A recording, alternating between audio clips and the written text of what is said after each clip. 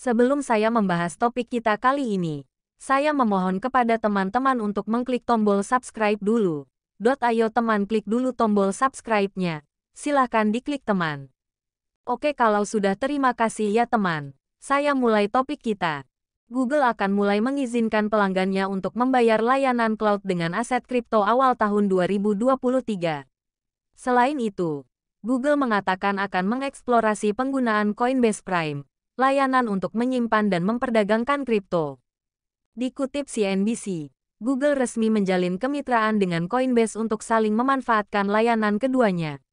Salah satu hasil kerja sama itu, Coinbase akan memindahkan beberapa aplikasinya ke Google Cloud dari Amazon Web Services.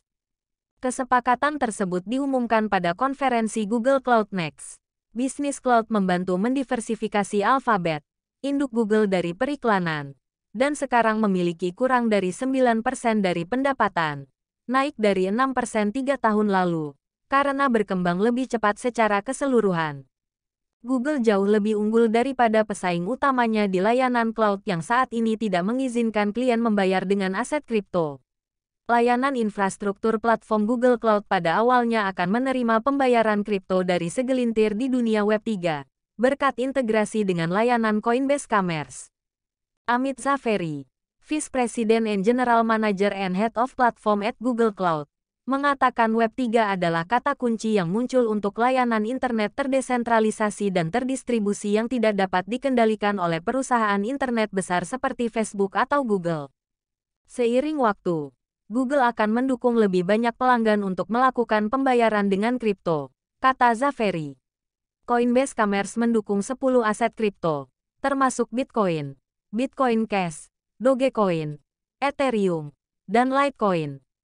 Google juga mengeksplorasi bagaimana ia dapat menggunakan Coinbase Prime, layanan yang menyimpan kripto untuk institusi dengan aman dan memungkinkan mereka untuk melakukan perdagangan.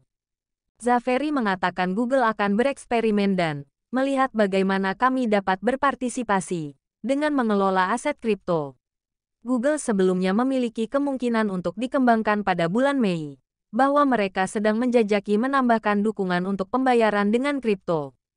Teknologi blockchain seperti NFT telah menjadi fokus yang lebih besar untuk divisi Google Cloud. Sebelumnya, Kepala Google Cloud, Thomas Kurian, telah mendorong pertumbuhan di industri besar seperti media dan retail.